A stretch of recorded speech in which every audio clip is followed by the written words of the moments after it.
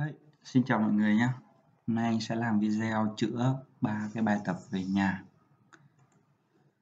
Ok Rồi, bài đầu tiên là sắp xếp lẻ tăng dần nhưng mà các giá trị khác thì giữ nguyên vị trí.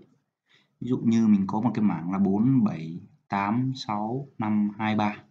Sau khi sắp xếp thì những cái số lẻ nó tăng dần còn các số chẵn thì vẫn nằm nguyên nguyên vị trí của nó. Đây, 4, 8, 6, 2 vẫn nằm nguyên. Còn các số lẻ là 3 5 7 nó tăng dần. Ok chưa? Rồi bài này sẽ làm như sau ạ.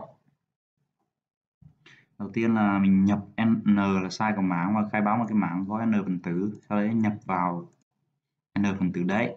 Rồi cái này chắc không có gì đúng không? Tiếp theo là đây là anh in ra cái mảng trước khi thay đổi có nghĩa mảng trước khi sắp xếp ấy. rồi đây là cái công đoạn này nắm nhanh cái đoạn này.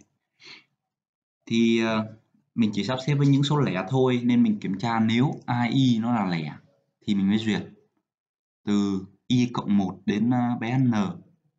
Và mình kiểm tra nếu cái thằng g này cũng là lẻ thì mình mới mang đi so sánh với y để xem xem nếu thằng đường trước mà lớn hơn thằng đường sau ấy, thì mình đổi chỗ. Ok không? Có nghĩa là cả AI và cả AG nó đều phải thỏa mãn là cả hai thằng nó đều là số lẻ cả thì mình mới mang đi so sánh. Thì nếu như mà hai số, cùng là hai số lẻ mà thằng đằng trước lớn hơn thằng đằng sau thì mình đổi chỗ thôi. Ok chưa? Này. AI lớn là gì thì mình đổi chỗ thôi. Đấy thuật toán nó chỉ có thế thôi nhá. Thì xong mình in nó ra một cái mảng gọi gọi như là mảng sau khi thay đổi này. Giả sử nhập là 7 nhá. Xem này nào. 478 6523 nhá. 4 7 8 6 5 2 3 ok chưa? Nhìn này. 4 7 8 6 5 2 3 thì nó ra là 4 8 6 2 này nó vẫn nằm nguyên này. 3 5 7 nó sắp xếp tăng dần. Ok chưa?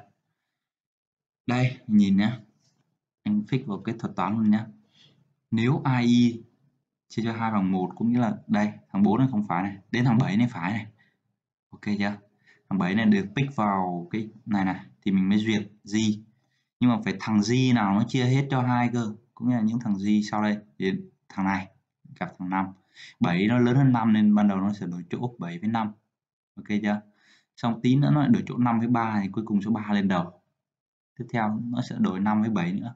Cũng như là cứ gặp số lẻ thì nó mới mang đi so sánh, còn số chẵn thì nó cứ kệ nó không quan tâm. Hiểu chưa? Ok nhá. Đấy là câu 250 tiếp theo câu tiếp theo là trộn hai mảng đã tăng thành một mảng được sắp xếp tăng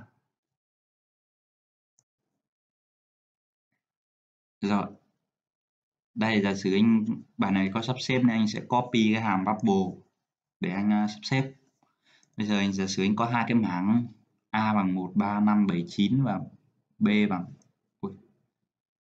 anh xin lỗi nhé anh viết nhầm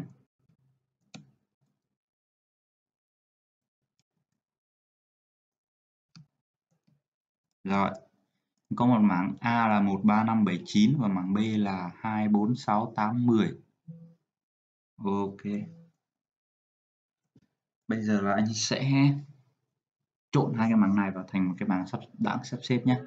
Thì bây giờ anh hướng dẫn mọi người cách đơn giản nhất là mọi người trộn nó vào một cái mảng. Giả sử mọi người khai báo một cái mảng là mảng, à, mảng tổng đi, mảng à, C đi C và anh khai báo cho nó không biết bao nhiêu cứ cho 100 nhé. Bình thường mọi người không biết bao nhiêu mọi người cứ cho 100 đưa một công đếm. Rồi, bây giờ là mọi người sẽ đổ hết các phần tử vào cái mảng C này, nên mình sẽ khai báo một cái. Size. Không ạ. Cái size này là gì? Size này nó sẽ kiểm soát cái size của mảng C này. Vì 100 phần tử này mình khai báo thừa, có thể mình không sử dụng đến 100 đâu.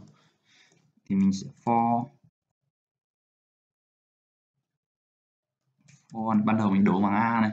Y không y bé hơn ờ, một 1 2 3 4 5 đúng không? Y cộng cộng này. Rồi mình đổ vào bằng c thì mình sẽ c thứ sai cộng cộng bằng 2y ok chưa? Có nghĩa là sau khi mình đổ vào bằng sai thì cái sai nó tăng lên một đơn vị. Là sai cộng cộng ban đầu nó sẽ áp vào A0 này xong sai cộng cộng lên là A1 này. À C1 này. C1 thì bằng phần tử A1 A3 vâng. rồi tiếp theo này. Sau khi khỏi cái vòng này thì mình lại cũng tiếp tục for này in y bằng 0 này, y bé hơn uh, bằng dưới là cũng là 5 đúng không?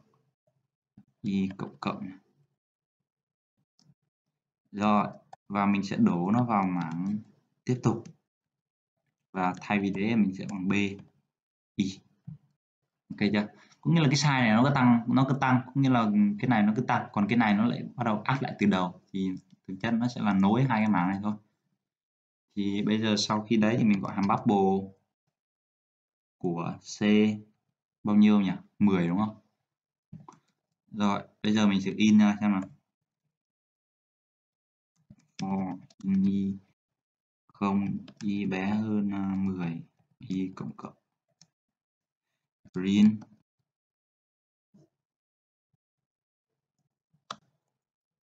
phần trăm d cách nó ra. Vậy vậy gì là ci đúng không? Rồi, thử phát nào. À hàm apple có gọi swap đúng không? Nên mình sẽ vào mình copy hàm swap nữa. Đây ạ. Ok đấy nó nó gộp thành một cái mảng là một, hai, ba, bốn, năm, sáu, bảy, tám, chín, mười rồi nhá. Ok mọi người nhá. Đấy đơn giản là thế thôi. Cứ gộp vào một cái mảng xong gọi, sắp xếp cái mảng đấy thôi. Đây là cái cách basic nhất còn cách cao siêu hơn thì mọi người sẽ được học vào các cái kỳ sau. Ok. Rồi câu tiếp theo là câu 269 thêm x vào một mảng tăng nhưng mà vẫn giữ nguyên cái tính tăng của mảng. Giả sử anh chèn anh có cái mảng 2 4 5 6 8 10 bây giờ anh chèn số 7 vào 7 thì nó sẽ phải nằm giữa số 6 số 8 nó sẽ 2 4 5 6 7 8 10 ok chưa? À, rồi ạ. Bây giờ mình sẽ có một cái à, mình sẽ nhập mã này. Rồi cái đoạn này nhập mã này. Không có gì, đúng không? Khai báo mảng 100 phần tử luôn, tại vì không thì khai báo n được. Tí nữa mình thêm thì sai nó thay đổi. Ok chưa? Mình khai báo là 100 cái value có nghĩa là anh sẽ nhập vào cái giá trị mà anh cần chèn. Giả sử nhập giá trị 7 đấy, giống như trong cái ví dụ kia.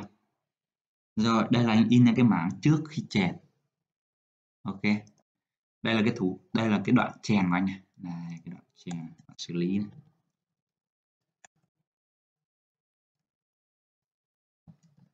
Xử lý này. Ok. Thì để chèn được thì ban đầu mình phải tìm được cái vị trí mà mình cần chèn. Ok chưa? Thì anh gọi cái vị trí đây là post, viết tắt của chữ position. Ok chưa? Lưu vị trí chèn. Thì khi mình có vị trí chèn này mình hoàn toàn có thể chèn được ngay, đúng không? Như cái bài hôm trước anh hướng dẫn mọi người viết hàm add đây thì nó chèn được ngay. Bây giờ nhá, mình có, mình kiểm tra nếu như value nó bé là không ấy cũng như là nó bé hơn ờ, cái phần tử đầu tiên đấy. Thì cái vị trí chèn là mấy ạ? Vị trí chèn là không, đúng không? Ok. Rồi, ngược lại. Ngược lại cũng như là cái vị trí chèn của mình khác không? Thì mình sẽ duyệt từ cuối, mình duyệt lên. Nếu mà mình gặp, nếu mà cái giá trị của mình ấy, bao giờ nó duyệt từ cuối duyệt lên mà, bao giờ cái giá trị của mình nó lớn hơn cái giá trị AI nào đấy, thì cái vị trí chèn của mình là ngay sau cái thằng AI đấy, có nghĩa là y cộng một ok chưa? Có nghĩa là nếu nó cứ lớn hơn thì vị trí chèn nó chắc chắn nó phải ngay sau thằng đấy, tại vì mảng của mình đang là mảng tăng mà. Nó ngay sau cái thằng đấy thì nó là cái vị trí chèn là y cộng một. Ok. Sau khi mình có cái vị trí chèn rồi thì mình chèn thôi. Chèn như cái thuật toán kia hoặc mọi người có thể vào copy cái hàm chèn này.